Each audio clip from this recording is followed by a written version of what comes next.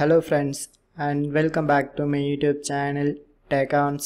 So today I get the following one error notification while I try to play the finals via Steam launcher and this is that message system integrity violation and internal anti-cheat integrity check failed and in followed way it also shows on error code. So how to get rid of this error message? So first of all force close this finals and Steam launcher from your task manager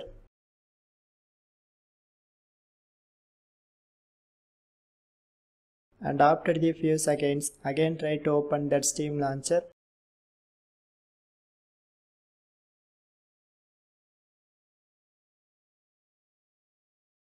So here you can go to library and then right click on your finals and go to properties.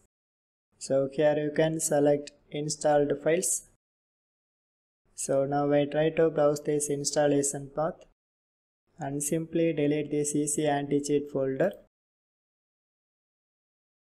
And again go back to that steam launcher.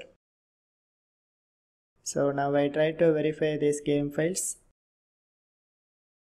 And this process may take up to more time so be patient.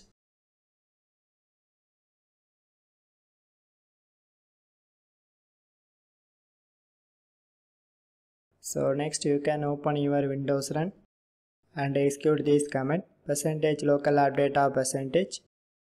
So here you can delete this discovery folder and close all the windows.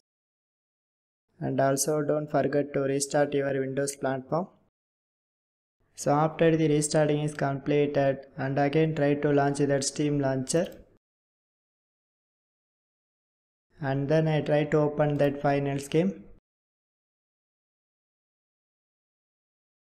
so I hope this method will work for 100%.